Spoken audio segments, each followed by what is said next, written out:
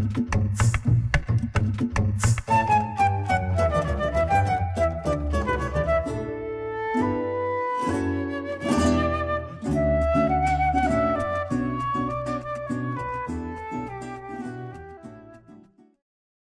gobierno que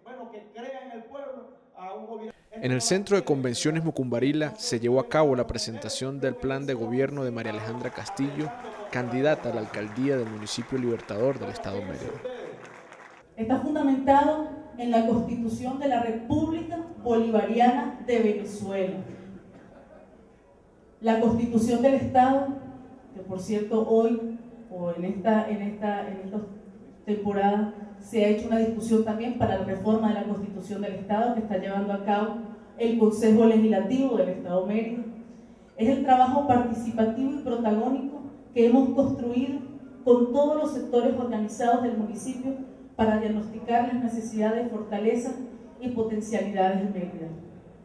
Entre los ejes de trabajo del plan presentado por la candidata destacan participación popular y contraloría social, agroproducción y soberanía alimentaria, salud y equidad social, juventud, formación y deporte, cultura, vivienda y hábitat. Eh, es un programa integral en el ámbito socioeconómico y político del municipio, abarcando todos los aspectos de salud, este, las políticas públicas que corresponden específicamente a la alcaldía y lo que es el desarrollo municipal y del Estado.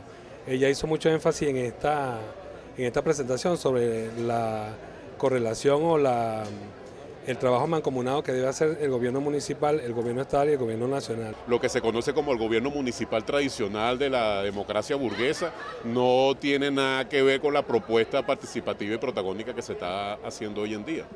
Y bueno, esperamos que María Alejandra Castillo con esa propuesta que está haciendo el día de hoy, que ha hecho público lo que es su estrategia general del plan de gobierno, continúe de alguna manera profundizando eso.